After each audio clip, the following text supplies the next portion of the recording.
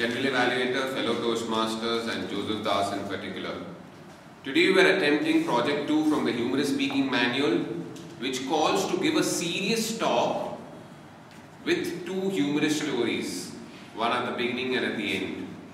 And did you live up to this project guideline? You absolutely did. You gave us, I'll, I'll evaluate your speech by giving you two of your strong points. One, stories. You had three brilliant stories and three brilliant stories which made us laugh out loud. The first story about the astrologer, you'll get used to it. It was reminding me of my marriage. the second story about your friend who lacked enthusiasm, which reminded me of Richard D'Souza and Pramod. and the final story about that dog. And all the stories were very well knit together, giving one strong message of not to assume. The second strong point of your entire presentation was your characterization. Your energy on stage always spills out and that lived up. The way you characterize the astrologer, the way you characterize the friend of yours, we could actually see them. But the most exemplary characterization was about the dog. I think so. That exemplary dog came inside you. You know, because the way you, the way you said that ferocious dog jumped and all, Bhavna held my hand. I was thinking, wow. It was so fantastic characterization. So you lived up to that characterization, and I think so that brought out the entire speech. Now I have two small suggestions for you to improve.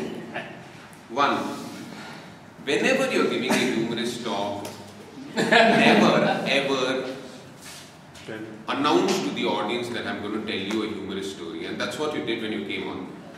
A humorous story is never supposed to be announced. You cannot come on stage and tell, I'll tell you a joke or I'm going to tell you a humorous story. Because I did that once when I was giving this presentation. I said, I'm going to all, I'm going to tell up y'all a joke. Somebody stood up from the audience and told, you tell, we'll decide whether this is so who are you to tell whether it's So don't announce. Wait. Take the audience by surprise. So never announce. And second thing which I wanted to tell you was, although the ending was a story, I think so you ended with a small plea for us, all of us to assume. Why do you have to do that? The, you have to end on a high. So I thought the ending could have been a better. At the end, after telling the story about the dog, you came and told us, please, my humble request to you all is that you all please don't assume things. No, no, no. You don't have to beg the audience. You could have ended on a high by telling, remember audience, if you all assume, you all will land up with the letters of the word assume. A-S-S-U-M-E. You'll become an ass of you and me. Isn't it? that would have added a punch to the entire speech.